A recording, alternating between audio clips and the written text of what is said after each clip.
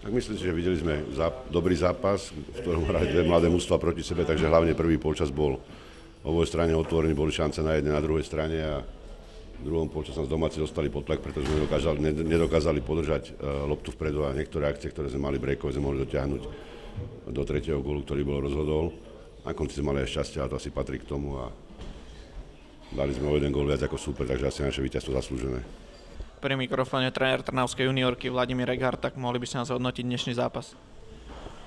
Tak dneska sme odohrali, myslím si, že jeden z najšla, najslabších zápasov doposiaľ. Hlavne prvý polčas e, sme e, začali úplne inak, ako sme si povedali v kabine. Chceli sme hrať natlakovo zo začiatku, e, aby sme súpera dostali pod tlak Bohužiaľ, e, s nedisciplinovanosťou e, sme úplne inak začali hrať a e, super nás potrestal s brejkou, dvoma gólmi. Sice my sme ešte zvrátili výsledok na jedna jedna rýchlým gólom, ale opäť po, po chybe sme dostali gól.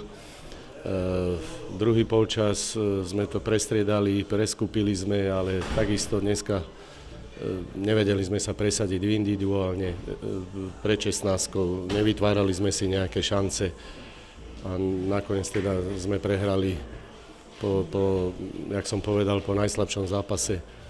Ale myslím si, že toto, toto je také vyústenie e,